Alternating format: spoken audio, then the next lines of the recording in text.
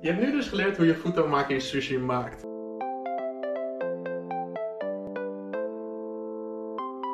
En om onze maakjes te maken hebben we natuurlijk uiteindelijk sushi rijst nodig. Ik heb laatst een video opgenomen hoe jij stap voor stap sushi rijst kan maken. En je kan hier eigenlijk niet in falen. Uh, dus ik zou even een kaartje daar uh, rechts bovenin doen waar jij deze video kan kijken. Voor nu ga ik opeens op magische wijze van video editing dit veranderen, dit hele pakket veranderen in sushi rijst. Ah, wat is video editing toch heerlijk ook weer. Nou, oké, nu onze rijst klaar is, schuiven we dat even aan de kant en kunnen we eindelijk gaan beginnen over de ingrediënten en attributen die we nodig hebben om onze eigen maki sushi rollen te gaan maken. Voor deze rol heb je een paar ingrediënten nodig die eigenlijk heel simpel zijn en zo in de supermarkt te halen. Een ingrediënt dat we sowieso gaan gebruiken is avocado, gesneden komkommer in hele dunne plakjes, imitatiekrab, als je echte krab hebt, ala, ga je gang, maar dat is een heel stuk duurder dan imitatiekrab en het smaakt net zo goed. Japanese stijl mayo wasabi van Saitaku, spicy mayonaise van Sriracha. En deze kan je eigenlijk ook heel zelf simpel maken door een beetje citroensap, normale sriracha saus en mayonaise met elkaar aan te mengen. En natuurlijk het belangrijkste van sushi is de nori, het zeewier. En als je ook nog fancy wil doen, dan kan je ook nog sesamzaadjes gaan gebruiken. Welke attributen hebben we dan nodig? Wat we nodig hebben is een bakje met water, een schone theedoek, een mes is ook zo praktisch. Het moet wel een scherp mes zijn voor de duidelijkheid. Een sushi matje die je hebt gewikkeld in vershoutfolie een snijplank. Voor het snijden van de sushi hebben we zometeen ook nog een extra plak vershoutfolie nodig, maar die scheur ik dan op dat moment af. Oké, dus de allereerste sushi roll die we gaan maken is Futomaki Sushi. Oftewel ook wel gezegd een dikke sushi roll. Wat je hiervoor nodig hebt is één velletje zeewier, dus een nori. En daarmee leg je de glanzende kant leg je onderop. We doen de rijst altijd op de ruwe kant. Wat je dan doet, je pakt je bakje water, je maakt je handen nat. En je zorgt dat je een goede hoeveelheid rijst pakt. Als je een goede hoeveelheid rijst hebt gepakt en op je nori hebt gelegd, dan maak je je vingers nogmaals een beetje nat en dan ga je het verspreiden. Zorg er echter wel voor dat de onderste 2 centimeter van je nori, dat die niet bedekt is. Oké, en dan nu voor de vulling. We pakken onze wasabi mayonaise. We doen een klein beetje op onze vingers. En dan spreiden we dit in één lijn over de rijst uit. Voor de volgende stap hebben we een klein beetje gesneden komkommer nodig. Pak een paar stukjes en leg die dan over de wasabi mayonaise heen. Probeer het een beetje eerlijk te verdelen. Vervolgens pak je je avocado en een mes en snij je er heel simpel een partje uit. En leg je die naast je komkommer neer.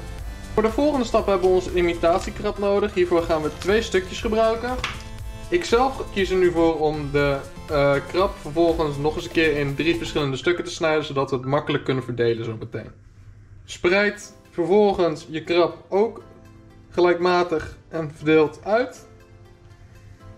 Doe dat ook met het andere stukje. En nu hebben we de inhoud van onze sushi roll gevuld. Nu komt het leuke stuk, het dichtvouwen. Maak hiervoor je vingertoppen ook weer een beetje nat. En pak vervolgens het bamboematje vast. En hou de inhoud met je vingers ook vast. En rol het vervolgens langzaam eroverheen. En druk het een heel klein beetje aan.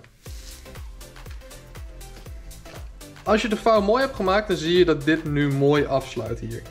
Vervolgens rol je hem steeds stukje voor stukje verder, terwijl je het aanduwt.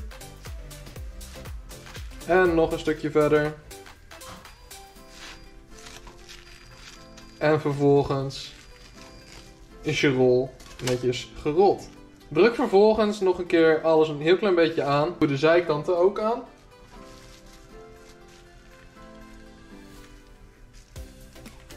Vervolgens, wat ik nog wel fijn vind om te doen, is om de zijkanten eraf te snijden in een klein stukje, zodat je een volledige gevulde sushi rol hebt. Uh, belangrijk is, elke keer als je sushi gaat snijden, um, zorg er dan voor dat je mes nat en schoon is. Daarvoor hebben we dus de theedoek, zodat we eerst altijd het mes schoonmaken. Dippen we het in het water, dan laten we het water langs het mes lopen. De reden waarom we dit doen is uh, zodat de rijst, de kleefrijst, dat die niet aan het mes vast blijft zitten. Snij ook de andere kant een stukje vanaf. Denk eraan, maak je mes weer schoon. en nat. Als je de zijkant eraf hebt gesneden, dan heb je een mooie stevige sushi roll als het goed is. Desnoods druk je hem nog een keer even stevig aan. Maar dit is natuurlijk nog niet de sushi roll die je uiteindelijk wil hebben. Aan de hand van hoeveel van de zijkanten je eraf hebt gesneden, kan je 6 of 8 stukjes uit deze rol halen. Ik zelf ga ervoor kiezen om deze rol in 6 stukjes te doen.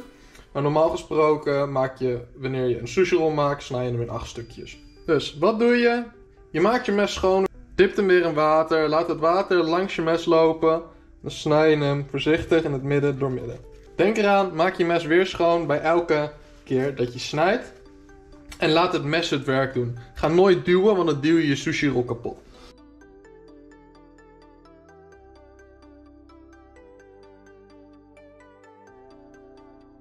Nou, als je je sushi roll dan hebt gesneden, uh, dan zie je dat hij waarschijnlijk een beetje, nou ja, los zit. Om dit aan te passen, leggen we weer een matje eroverheen. En duwen hem weer in zijn rol.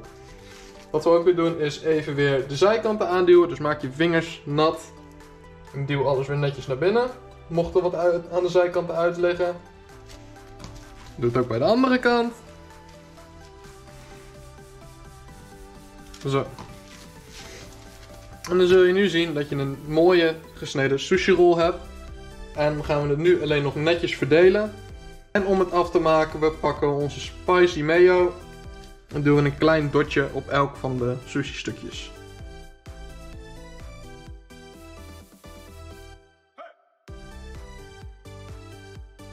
Nu weet je eindelijk hoe je Futomaku sushi maakt. Oftewel een grote sushi roll.